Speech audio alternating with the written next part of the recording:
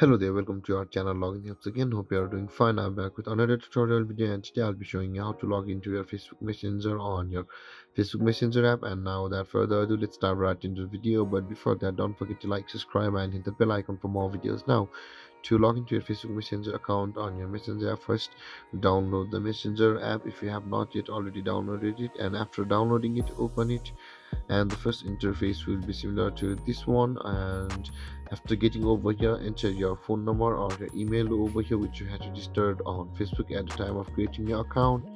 Uh, for me to be this one.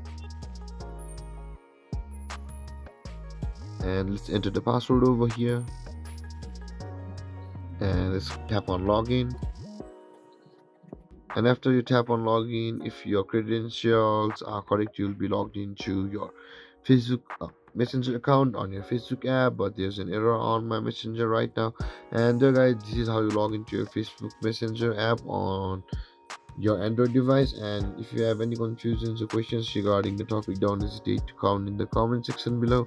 And don't forget to like subscribe and hit the bell icon for more videos. Thank you for watching guys. Peace